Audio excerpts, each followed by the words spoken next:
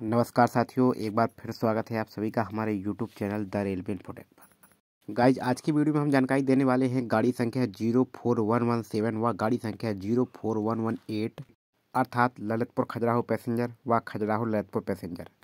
Guys, आपको जानकारी के लिए बता दें कि इस ट्रेन का समय परिवर्तित हो चुका है और इसके समय में परिवर्तन इसलिए किया गया है कि खजुराहो से टीकमगढ़ के बीच चलने वाली पैसेंजर स्पेशल ट्रेन का विस्तार करके उसे वीरांगना लक्ष्मीबाई जंक्शन झांसी तक बढ़ाया गया है। गाइज़, आपको याद दिला दें कि पहले यह ट्रेन खजुराहो रेलवे स्टेशन से दोपहर चौदह बजकर दस मिनट पर और ललितपुर अपने निर्धारित समय सत्रह बजकर पच्चीस मिनट पर पहुँचती थी और वापसी में यह ट्रेन ललितपुर से सत्रह पचास बजे चलती थी और रात्रि के समय खजुराहो पहुँचती थी।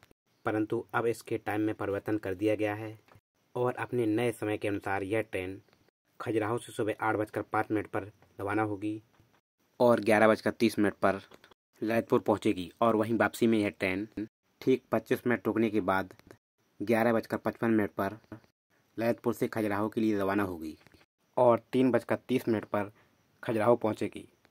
साथियों, इस ट्रेन की परिवर्तित समय सारणी को आप स्क्रीन में देख सकते हैं और डिस्कशन में जाकर भी देख सकते हैं।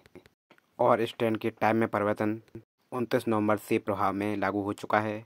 साथियों, यह जानकारी खजुराहो दुरियागंज बसारी, छतरपुर, ईसानगर, खरगापुर, सरकनपुर, मवई, टीकमगढ़, उदयपुरा बिरारी ललितपुर एवं अन्य क्षेत्र के रेल यात्रियों के लिए बहुत ही उपयोगी है।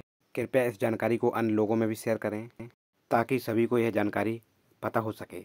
साथियों, खजुराहो से झांसी तक शुरू हुई मेमो स्पेशल ट्रेन की जानकारी वाली वीडियो का लिंक भी डिस्क्रिप्शन में आप देख सकते हैं। और आप लोग कमेंट के माध्यम से ज़रूर बताएँ कि आपको ये जानकारी कैसी लगी। इसके साथ ही यदि वीडियो अच्छी लगी हो तो वीडियो को लाइक करें, ज़्यादा से ज़्यादा शेयर करें और हाँ चैनल को सब्सक्राइब करना ना भूलें। साथियों, आगे मिलते हैं और नई जानकारी के साथ। जब तक के लिए जय हिंद।